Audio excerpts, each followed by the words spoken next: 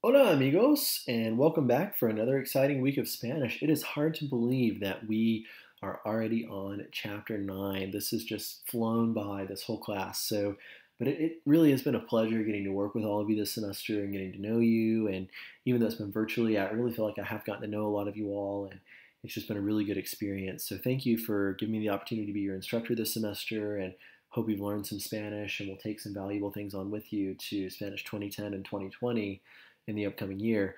Um, so, as we get started here in chapter 9, we are de viaje por el Caribe. We're on vacation in the Caribbean. Doesn't that sound nice? Um, so, as we look here, uh, in this chapter, you will learn how to communicate about transportation, lodging, and other aspects of travel.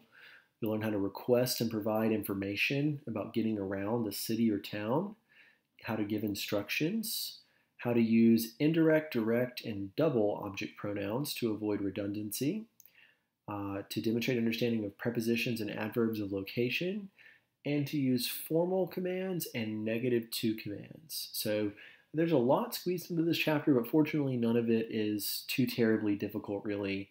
So that's good. Okay, we're going to start with some travel words here. And I will say this is like one of the most useful situations in life when you will genu- genuinely use your Spanish. Like in an airport, if you ever travel um, abroad, you'll for sure use this. I, I, took a group of students to Spain. Um, and we were fortunate enough, the, the airport, there were many places where there was no English. And, um, you know, fortunately, my students were prepared after having completed a chapter like this on travel. So uh, I think that's great and very important that you do that. Um, here you can see La Agencia de Viajes, the travel agency. Uh, specifically, there is an agente de viaje here. You can have either el agente or la agente, depending on whether you have a male or a female travel agent. Uh, here, this guy has his maleta, his suitcase. Here you can see someone else going through el control de seguridad, going through security basically. Um, someone here has to facturar el equipaje to um, check your luggage, check your baggage. Uh, this person over here is still having to hacer la maleta, still packing their suitcase. That's not good. Um, and then on this side, you see el agente de la aerolínea, the airline agent. And up here, there's the schedule and horario that tells you all the departures and arrivals. And the, the gate here, la puerta.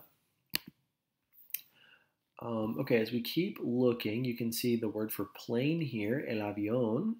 Uh, as you look on the plane, you see el pasajero, a male passenger, or you could have la pasajera, a female passenger. This person has to abordar, to board. And here on the plane, we have el asistente de vuelo, the flight attendant.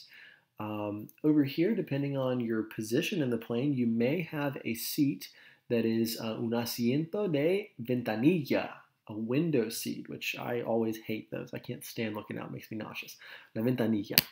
Okay. Um, as you continue looking here, um, you see this man standing holding his pasaporte, his passport, and you can see the sign says Bienvenidos a la República Dominicana.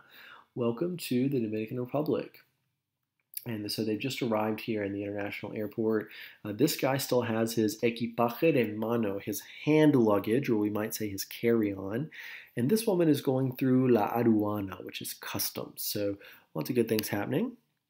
Uh, of course, after that happens, if you've ever been to an airport, this is an important part of the process. Hopefully, if it all goes well, you get to recoger el equipaje. You get to actually pick up your luggage and hope and pray that it hasn't been lost in transit, right? So, lots of good things. Um, there are more words, of course, for you to study in your uh, text and with your flashcards, but just to give you an overview, here's a little bit of practice with the vocab. Um, it asks you um, for some a, little definition of something, and you have to match it with the appropriate word or phrase. So number one, this is por donde se aborda el avión. This is where one uh, boards the plane. Uh, obviously, that is the, the, port or the gate, so it should be uh, la puerta de salida, letter C. Number two tells us this is el documento para poder entrar en otro país, the document for being able to enter into another country. Obviously, you need a passport to do that. Number two should be e pasaporte. Uh, I'd like for you to take a moment now and pause your audio, please, and give numbers three, four, five, and 6 a try. Okay, now that you've had a second to try those, number 3 says this is el asiento para ver hacia afuera. Ugh, the seat so that you can see outside. That's the window seat. El asiento de ventanilla. F, letter F. Number four, el equipaje que se factura. The, the luggage that you check. Um, those are your, your suitcases, your baggage. Uh, in that case, that these would be las maletas, your suitcases. Number five, el lugar donde se mira lo que hay en las maletas. This is the place where you see what is in your bags, where they take a look at what's in your bags. Uh, generally speaking, that is customs or security, but security is not an option here. So it should be customs, la aduana, letter B. And finally, number six, el boleto que se compra cuando uno no quiere volver.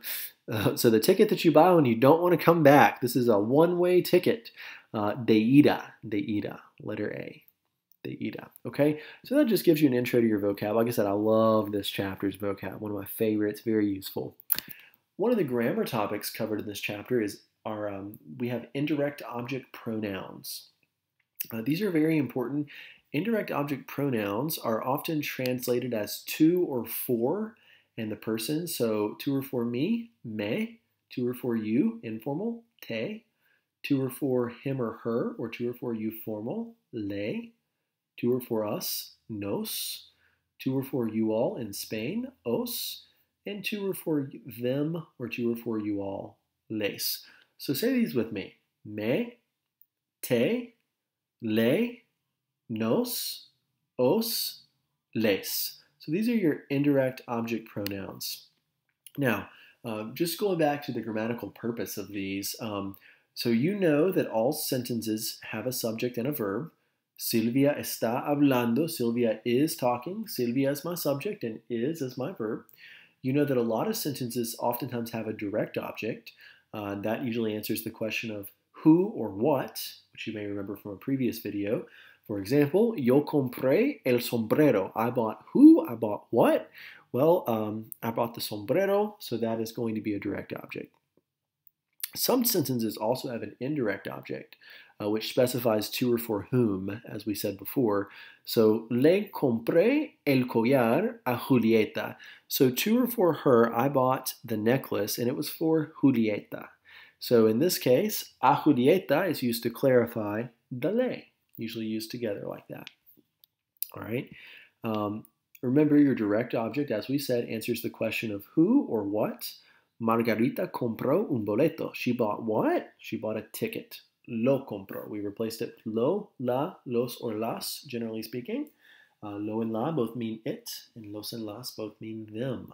Hopefully you remember these things. Okay, notice um, that the indirect object uh, can appear in a sentence as well, and um, you generally always see it like this with a clarifier. So, Margarita le compró un boleto a su novio. Margarita bought a ticket for her boyfriend. You cannot say Margarita compró un boleto a su novio. You cannot put that in there without the le. You have to have the indirect object in Spanish. You have to have that pronoun.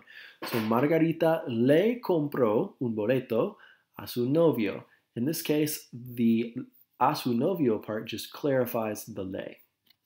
If you didn't have the a su novio, you could just say Margarita le compró un boleto, so Margarita bought him or her a ticket, but we don't know who the him or her is. So you have to have the a su novio to clarify that. Okay. Um, some more examples here. Um, Mama llama todos los días. So mom calls every day. Well, she calls whom? Who's she calling? Uh, you kind of have to specify that a nosotros mama nos llama todos los días. She calls us. Nos llama. Another example, Manny compró un boleto para ella. So Manny bought a ticket for her. Uh, you can rewrite that, that le compró un boleto. He bought a ticket to or for her. Okay, so just more examples. Um, our placement situation for these indirect object pronouns is the exact same as our placement for the direct object pronoun. So it always goes in front of your conjugated verb. As you see here, I gave her the jacket. Yo le di la chaqueta. I to or for her gave the jacket. Di is my conjugated verb. So my indirect object pronoun must come in front of that conjugated verb. Yo le di la chaqueta. If you have a negative sentence that has a no, um, again, you're just going to find that conjugated verb and place your indirect object pronoun in front of it. So no nos compraron el regalo. They did not buy the present for us. Compraron is our conjugated verb, so our, our indirect object pronoun of nos must come in front of that. Okay? Um, now, as I said, generally, ever in doubt, always put it in front of your conjugated verb. That works for pretty much most of the things we talked about in this class. If you're ever unsure, stick it in front of your conjugated verb. However, there are other options, and I want you to be aware of those options. Um, so, if you're using one of these indirect object pronouns with an infinitive or a present participle, you have the option of attaching it to the end of that infinitive or to the end of that gerund, that present participle. So, for example, I'm going to give her the ticket. Le voy a dar el boleto is the safest way to do it. You found your conjugated verb voy, and you put your indirect object pronoun of le directly in front of that conjugated verb. Le voy a dar el boleto. However, uh, if you want to be fancy, you have the option of attaching it to your infinitive. So you could say voy a darle el boleto. In this case, my indirect object pronoun le has been attached to the infinitive dar, to give. Okay? Um, some more examples here again. Um, sometimes when you're using a command, and we will talk more about commands in just a bit, but when you're using a command, you generally always attach the indirect object pronoun to the end of the verb. So for example, you learned about tú commands back in Spanish 1. Uh, hablar, for example, became habla, talk. You want to say talk to her, háblale. You attach the le to the end of the verb. Only with commands do you do this, otherwise it always goes in front of the conjugated verb. Another example, give me the papers now. Dame, give me. Dame los papeles ahora. Um, now, that's only with positive commands that you can attach to the end. If you have a negative command, you have to put your indirect object pronoun in front of the conjugated command, basically between no and the verb. So, for example, don't talk to her. No le hables. The le comes in front of hables. No me des los papeles todavía. Don't give me the papers yet. No me des. So your indirect object in that case is coming in front of your verb. All right. Um, some other things you need to know here. With le and les, your meaning in your sentence can be a little ambiguous, meaning that we don't always know who you're talking about. So le, again, can mean to or for him, to or for her, or to or for you formal. Les can mean to or for them, or to or for you all. So if you want to clarify in your sentence who you're talking about, you generally use a personal a followed by the name. So a él, to or for him. A ella, to or for her. A usted, to or for you formal. Um, in the sentence here, you see le prometiste el viaje a él o a ella. Did you promise the trip to him or to her? Le prometí el viaje a ella. I promised the trip to her. So again, the le kind of has to match up with a ella. It's a very common way to see that.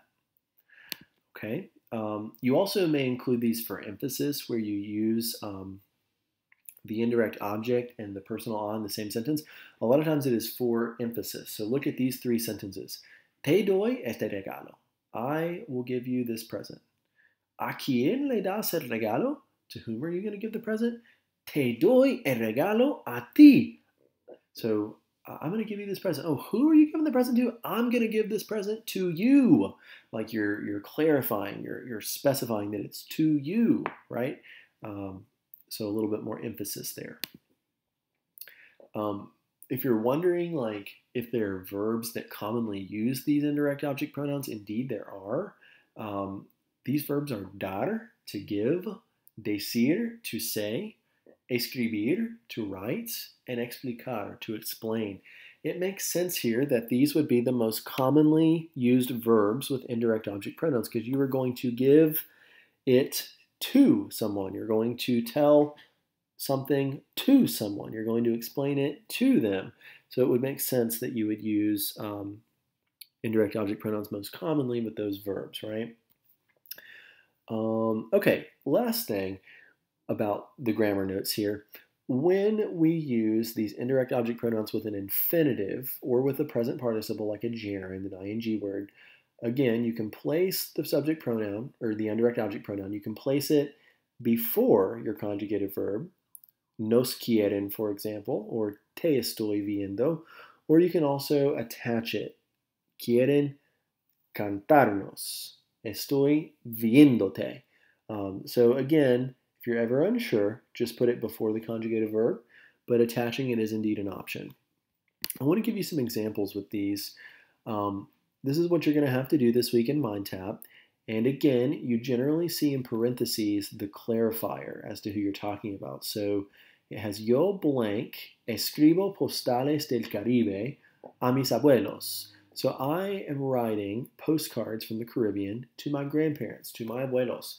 Well, to or for my grandparents would be to or for them. We know that the indirect object pronoun that goes with to or for them should be les. So yo les escribo postales del Caribe. Another example, number one, yo blank hago muchas preguntas a la gente de viaje sobre Santo Domingo. So I ask a lot of questions to the travel agent about Santo Domingo. I'm asking a él, to or for him, to the travel agent. So we know that to or for him in Spanish. Uh, if you go through your indirect object pronouns, me, te, le, nos, os, les, to or for him should be le. So for number one, you should put yo le hago muchas preguntas a la gente de viajes. Okay, for the sake of time, I want you to try uh, just numbers two and three. Very quickly, go ahead and pause your audio and give these a try. All right, now that you've got a second to try these. Number two, El blank recomienda visitar la fortaleza Ozama, que fue la primera construcción militar de América. So he recommended to me. So to or for me in Spanish is just simply me, M-E. So él me recomienda. Number three, yo blank prometo comprar cosas típicas. Um, so I promise to you, and it says at the end of the sentence, a ti. So I promise to you, yo te prometo, te. Okay, so I think you have a good understanding of indirect object pronouns, and from before, I know you have a good understanding of direct object pronouns. So now, this is where it gets tricky. We're going to put all these things together in the same sentence for what we call double object pronouns. So one more time as a summary, our direct object pronouns answer the question of who or what. Usually you see them most commonly used as lo, la, los, and las, but they can also be me, te, nos, or os. Those are your direct object pronouns. Your indirect object pronouns answer the question of to or for whom, and they are me, te, le, nos, os, or les. So, um, this helps to eliminate redundancy in conversation because you can use them together. For example, will you get me a towel? Instead of saying, yes, I will get you a towel, you can say, yes, I will get it, referring back to the towel, for you. So in this case, it would be my direct object, referring back to the towel, it, and to or for you would be my indirect object. Okay, so will you get me a towel? Yes, I'll get it for you. Another example, hey, would you bring me some snacks?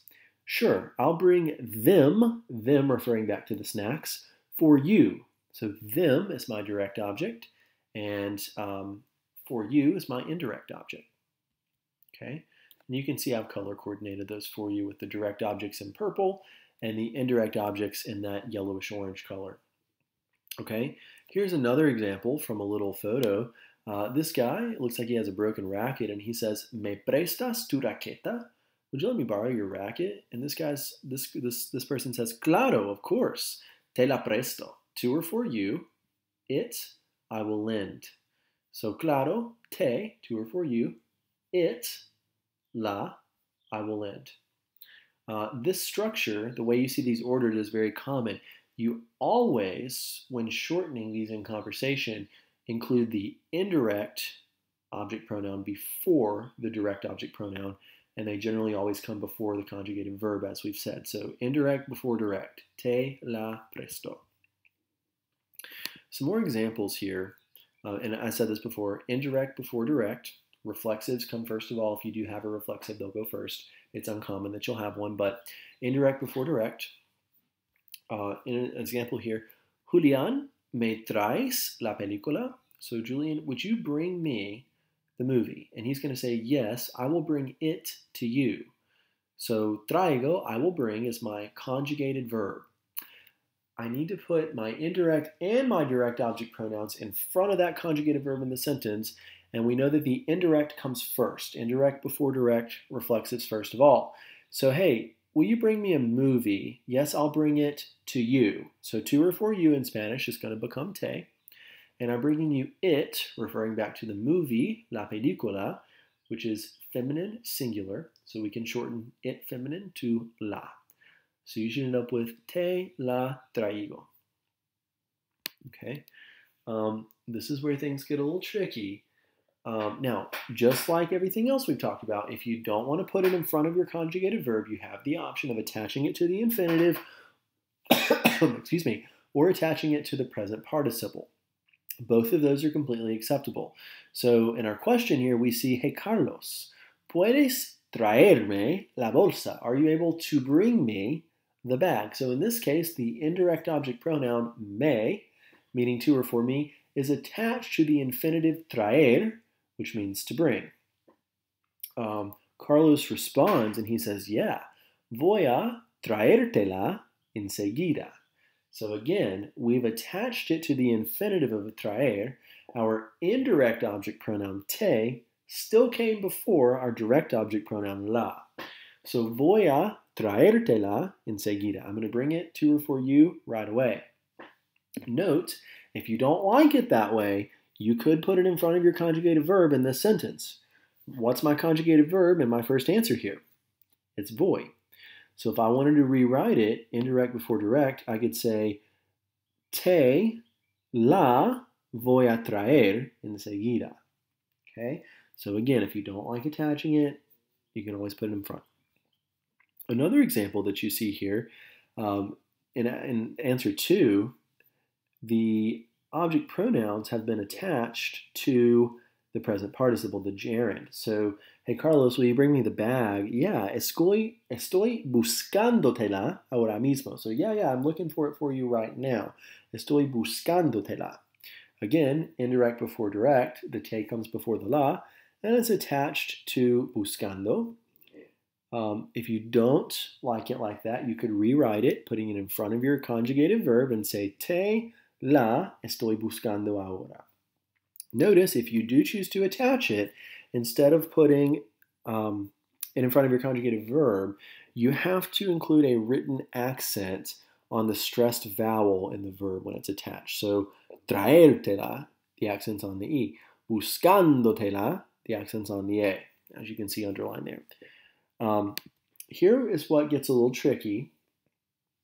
So, um, the fancy grammar terminology for this is that whenever you have an indirect object pronoun in the third person, the or les, you're going to change that or les to say when it precedes a direct object pronoun that also begins with an L, such as lo, la, los, or las. In more simple terms, um, you may recognize the TV show from below, uh, Lilo and Stitch. Uh, they're the only time in life you can lilo or lelo. Okay? So in Spanish, there's an issue with the double L, like being right beside each other. You can't lelo, lela, lelos, or lelas. In that case, the L in le changes to se. So you end up with celo, cela, celos, and celas. I know that's complicated, so let's look at some examples. We're asking here, ¿Quién les trae la pelota a los jugadores. So who, to or for them, brings the ball? And we're referring to the players. So who brings the players the ball? Well, we know a los jugadores is referring back to the lace. Those match up, as they should. And la pelota is the ball, it. So we're going to answer this sentence of who brings the players the ball. And we're going to say that the trainer or the coach brings it, the ball, to them, the players. Okay, so the trainer, to or for them, the players, los jugadores, would actually become les, to or for them, and the ball, la pelota, which is feminine singular, will become la. So our problem here is that we can't les la because you can't have uh, the L sound is an issue with double object pronouns. So in this case, your les is going to change to se. So el entrenador se la trae. Okay, another example. Hace frío afuera y necesito unos guantes. It's cold outside and I need some gloves. A quién blankety blank pido. To whom should I ask for them? Well, what's the them we're talking about here? Gloves, guantes, which we know are masculine. So guantes, to say them masculine, we're going to replace those with los. And to whom, one person, he or she, to or for him or her, we're going to use le, right? But the problem here, we can't le los. So we're going to need to rewrite this sentence and say, a, a quien se los pido? To or for whom should I ask for them? All right, I know these are hard, so let's do a few more examples. Um, I like these a little better, give you some more choice. El camarero me trae el menú. So the waiter, to or for me, brings the menu. You're trying to say that the waiter brings me it. We know that it we're talking about here is el menú, which is masculine. So we can automatically cross out letter B because el menú, uh, it masculine, is going to become lo. So it has to be either A or C. We're saying the waiter brings who the menu again? The waiter brings me the menu. So el camarero me lo trae should be the correct answer. Okay? I want you to take a moment pause your audio and give numbers 2, 3, and 4 a try for me, please. Okay, now that you've got a second to try, number 2 says, Compro los libros para ti. So I buy the books for you. Well, to or for you in Spanish, we know becomes te, so I can cross out letter B. I'm buying you what again? oh, the books. The books would become them, right? There's multiple books. So them masculine should become te los compro. Notice in each of these, your indirect comes before your direct, and those precede your conjugated verb. Number three, le escribo una carta a mi novio. So I am writing a letter to my boyfriend. Well, to or for my boyfriend would be to or for him, right? So I know that it's going to be le, to or for him. So let's start with that. We'll just write that in, le. I'm writing him what again? I'm writing him a letter, una carta, which is feminine and singular.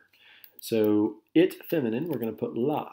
But remember, you can't lelo, lela, lelos, or lelas.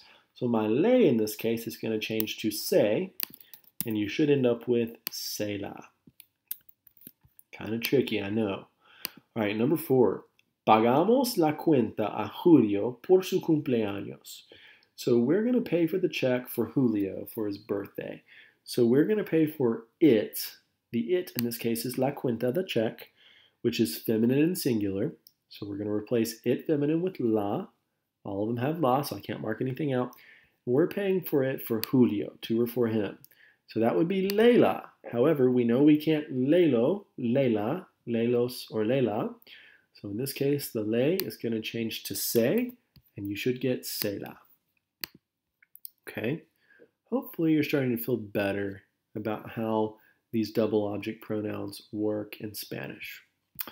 Our next area of emphasis here is in regard to lodging in a hotel, also related to travel. So you can see these go in order, starting with one and going over to two. Uh, let's just go through and read these quickly together. Uh, you see the receptionist here, and he says, Muy buenas tardes. ¿En qué puedo servirles? So, very good afternoon. In what way may I serve you all today? How can I help you guys today? And uh, the, the woman here says, Well, necesitamos un cuarto para dos personas. We need a room for two people, please. And the guy says, Sí, con cama doble, por favor. Vamos a quedarnos tres noches aquí. So, yeah, with a double bed, please, or you might say like a queen size bed. Con una cama doble, por favor. A double, double bed. We're going to be staying here for three nights. And uh, the host, the receptionist here, he says, Well, ¿desean ustedes un baño privado?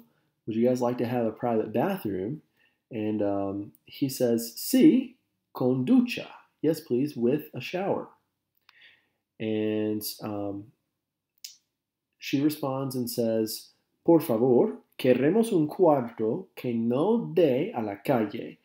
Hay mucha ruido por aquí. So please, we would like to have a room that doesn't have access to the street. Um, is there a lot of noise here? And he says, Sí, señora, por el tránsito, because of the public transportation. Their conversation continues, and um, the man here asks, Well, ¿tiene aire acondicionado el cuarto? Does the room have air conditioning? And he says, Sí, señor. Todos los cuartos lo tienen. El Hotel Nacional de Cuba es de cuatro estrellas.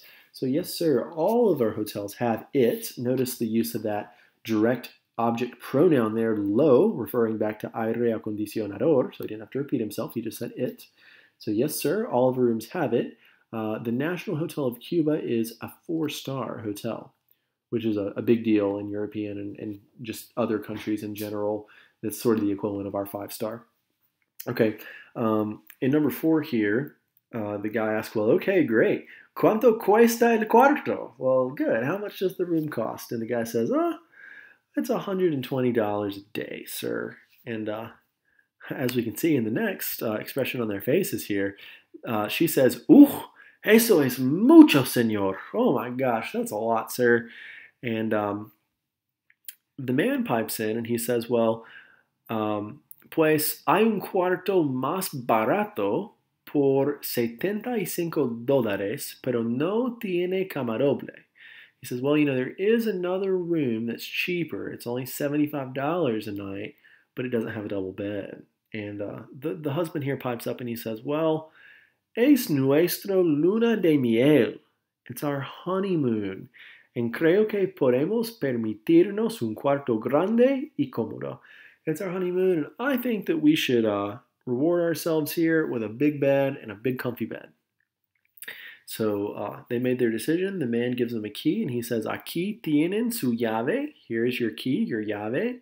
Para el cuarto matrimonial. Here's your key for the, the matrimony room, or you might say like the honeymoon suite.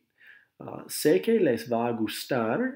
Es el cuarto 204. So I know you're going to love it. You're going to like it. It's room 204. So they head on up. Um, the woman asks, Well, hay ascensor? Is there an elevator? And he says, Como no, señora? Of course, ma'am. Está allí a la izquierda. It's there to the left. And and uh, so now they get up to their room, and uh, the woman says, Ay, el cuarto es un desastre. No está arreglado y está muy sucio. You can you can see there by looking around the room. She says the room is a disaster. It is not organized, arreglado or prepared, and it's very dirty, as you can tell from all those things sitting around. Um, the husband's on the phone and he says, El recepcionista dice que los recién casados generalmente no se quejan de las condiciones del cuarto. The receptionist says that uh, the newlyweds generally don't complain too much about the conditions of the room. Uh oh. All right, so you get to see all of those there. In an activity in MindTap this week, you may be asked to take a definition such as this, and um, or I'm uh, sorry, you may be asked. Yes, you may be asked to take a definition such as this and provide a, a, a vocabulary word that corresponds. So, for example, the model says "Nosotros dormimos en esta cosa." We sleep in this thing. Well, we sleep in a bed in la cama. Um, another example, number one, es una cama para una persona. It's a bed, but it's a bed for only one person. Well, that's a twin bed or a single bed. Una cama sencilla. Okay. Number two, entramos en esto para subir o bajar. So we go inside of this, we get in, we got on this to go up or go down. Well, sounds like an what? Good. Hopefully an ascensor, an elevator, an ascensor. Um, I want you to pause your audio and give numbers three and four a quick try for me. All right, now that you've had a chance to try, number three says, En este lugar uno se registra. So uh, in this place, one registers. Will you register for your room in el recepcionista, la recepcionista, la recepción, the reception area, right, with the receptionist. Uh, number four, es un baño que no hay que compartir con otros. It is a bathroom that is not to be shared with others. That is a baño privado, a private bathroom, un baño privado. Okay. Um, the final topic I'm going to talk to you about today is commands. Okay, we're going to talk about formal commands and um, also negative tú commands. You already learned about positive tú commands back in Spanish 1010. Remember those positive tú commands? Use your bottom left box, the el, ella, usted box. So hablar, for example, would become habla. Comer would become come. Beber, bebe, so on and so forth. Your negative commands follow a different process. And the rule of thumb here um, is to form the yo form of the verb, drop the o in the yo form, and add the opposite ending. And what I mean by opposite ending, if you're dealing with an AR verb, you're going to add the normal verb endings for an ER or an IR verb. If you're dealing with an ER verb, then you're going to use the normal verb endings for um, an AR verb. So it's, it's always using the opposite endings. Since these are always usted or ustedes commands, all these are going to be using that bottom left and that bottom right box. Okay, so we're going to start with a very basic verb like hablar, to talk. Hablar is an AR verb, right? So let's let's follow the process. Form the yo, hablo. Yo form the present tense, by the way. Form the yo. Drop the o, H-A-B-L, and add the opposite ending. So normally, my bottom left box, and, and I can put a box up here just to let you visualize it. Um, normally, if we were dealing with our endings, uh, we would be using these bottom two boxes, right? The usted box will be this bottom left box, and the ustedes box will be this bottom right box. Normally, for an AR verb, my endings would be A and AN. But I'm doing the opposite because this is an ER um, it's an AR verb, so I'm using the opposite ending. So instead of an A, I'm going to use an E. Instead of an AN, I'm going to use an EN. So notice, uh, if you're telling someone formally to talk, you're going to say usted hable. Hable usted, hable, talk. Um, if you're telling a group of people to talk, hablen with an EN. So you use the opposite ending. So if it's an AR verb, it uses ER, IR endings. If it's an ER, IR verb, it uses AR endings. The cool thing about making these negative, hable, speak. No hable, don't speak. You just throw a no in front of it. Hablen, you all should talk. No hablen, stop talking, right? Um, so pretty simple there. So remember, form the yo, drop the o, and add the opposite ending. Okay, there are irregulars, like with everything else. You may recall back to our preterite lesson uh, earlier this semester where we learned about car, gar, and zar verbs. And you learned that car verbs change to ke, gar verbs change to ge, and zar verbs change to se. That same sort of thing holds true here. So when you take a verb like sacar, um, in the usted form, the command is going to be sake. Um, in this case, it is the C that just changes to a QU, but if you want to think about it as counter changes to K, that's okay. That works for the usted form. But for the ustedes form, you do have to add the opposite ending, so it would be sakin with an en, because normally, you know, your ending would be an, so you're using the opposite en. So sacar, saque, saquen. Same thing with llegar. Gar changes to gay. So llegue, arrive, or you all arrive, lleguen. And same thing with comenzar. Uh, Zar verbs change to say. Basically, the Z is just changing to a C. So, comience, comiencen. Not too bad there, right? Um, there are several irregular commands, and these are ones you just have to memorize, unfortunately. Dar becomes de in the usted form, and den in the ustedes form. Estar becomes este in the usted form, and estén in the ustedes form. Ir becomes vaya in the usted form, and vayan in the ustedes form. Saber becomes sepa in the usted form, and sepan in the ustedes form. And finally, ser becomes sea in the usted form, or sean in the ustedes form. And again, to make any of these um, negative, you simply just need to add a no in front. So not too bad. Okay. Um, I also want to talk to you about negative tú commands. They follow the same process. So remember, positive tú commands use your bottom left box. Negative tú commands still use this normal tú box over here, and they follow the same process as your formal command. So you're going to start by forming the yo, dropping the o, and adding the opposite ending. So go back to hablar. Form the yo form of hablar, hablo. Drop the o, H-A-B-L. Add the opposite ending. In the tú form, for an AR verb, your ending would normally be AS. Or if it were an ER and IR verb, it would be ES. So we're using the opposite endings again. So form the yo, hablo, drop the O, H-A-B-L, and add the opposite ending. So instead of hablas, it's going to be hables, es. Uh, and of course, this is a negative command, so you need a no in front, no hables. Let's take another example here. Let's say we were dealing with uh, comer, to eat. We're going to form the yo, como. We're going to drop the o, c-o-m. We're going to add the opposite ending. So c-o-m-e-s, we have a normal ending. The negative form is going to be no comas.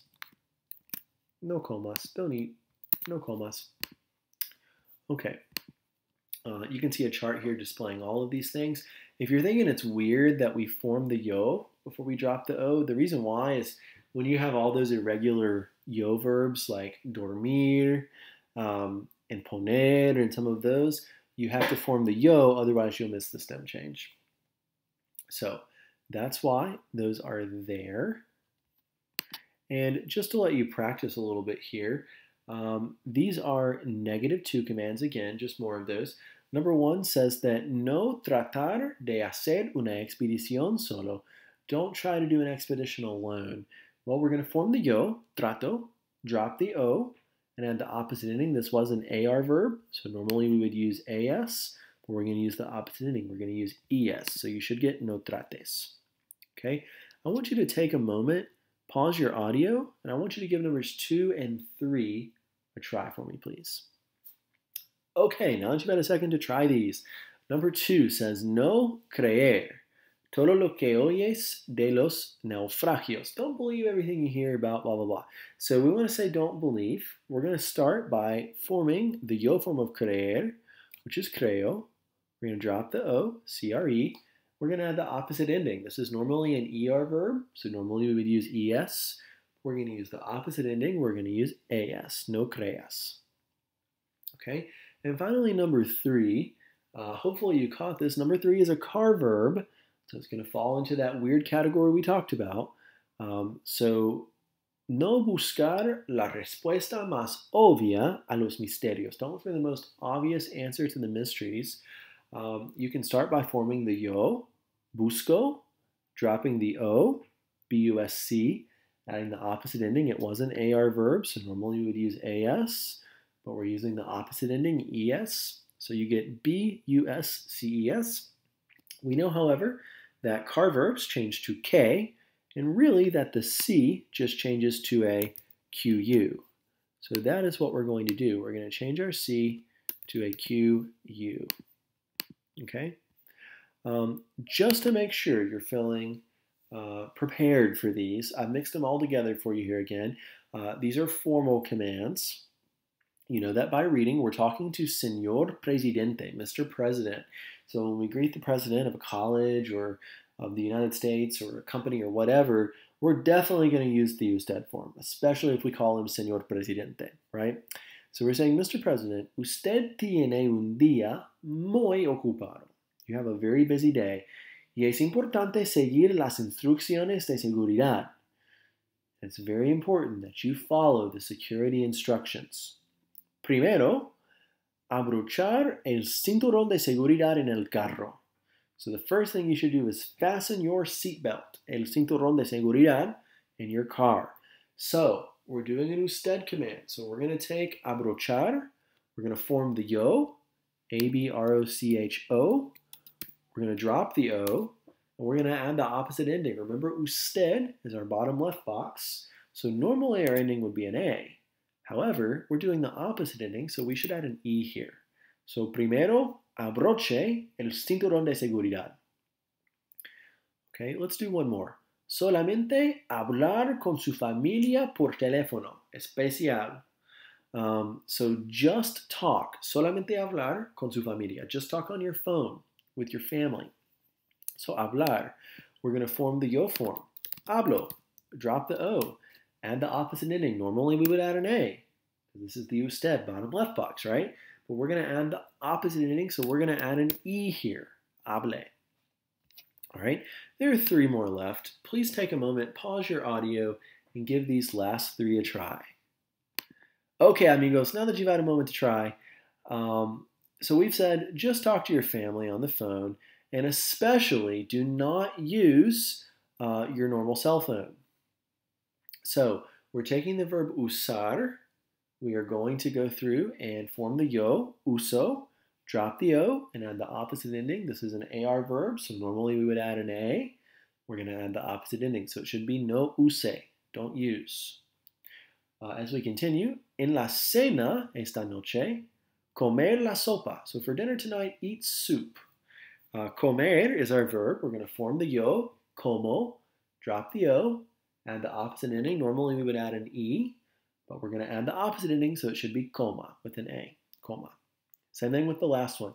So uh, for dinner tonight, eat some soup, but don't drink a lot of wine. No beber el vino, porque usted necesita estar preparado mentalmente para la reunión después de la cena.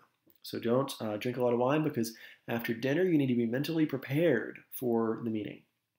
So again, with beber, we're going to form the yo, bebo, drop the o, and add the opposite ending. So beber was an er verb. Normally we would add an e, but instead we're going to add an a. So you should get beba. Okay? Guys, this concludes uh, our final video of Espanol uh, 1020 that we've taken together, Spanish 2. And guys, it's just been a great pleasure working with you. Of course, if at any point you have questions about this or anything else, or if you ever need a recommendation letter, whatever it is that you need, I'm always happy to help you out. Uh, my email is mtharrison at pstcc.edu. And um, finally, of course, in this video, you have come full circle. You've learned how to communicate about transportation, lodging, and other aspects of travel. You've learned how to request and provide information about getting around a city or town, how to give instructions, how to utilize direct, indirect, and double object pronouns to avoid redundancy, how to demonstrate understanding of prepositions and adverbs of location, and how to utilize formal commands and tú commands. Guys, thank you all so much. Have a wonderful rest of your day.